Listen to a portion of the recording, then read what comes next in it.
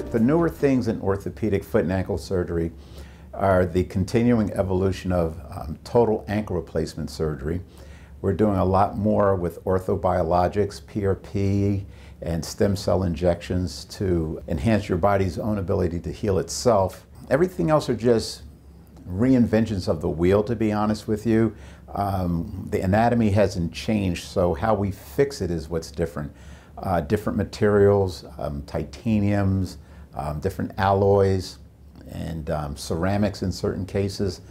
But the biggest area that's evolving, I would say, are total ankle replacements. And where they were 30 years ago compared to where they are now is dramatically different than five years ago, 10 years ago, especially 20 years ago when the go-to procedure was an ankle fusion. So ankle fusions are still popular and, and, and still have their place, but we are doing more total ankle replacements.